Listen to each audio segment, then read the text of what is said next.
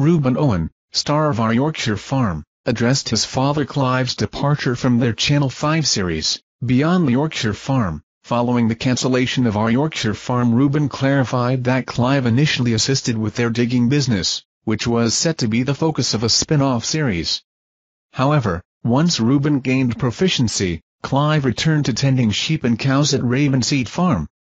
Despite not appearing in Reuben's new series, Clive and Reuben's mother Amanda still offer guidance. In an upcoming episode, Reuben, his girlfriend Sarah Dow, and their friend Tommy travel to France. Reuben reminisced about driving his Land Rover in France, likening the experience to old episodes of Top Gear.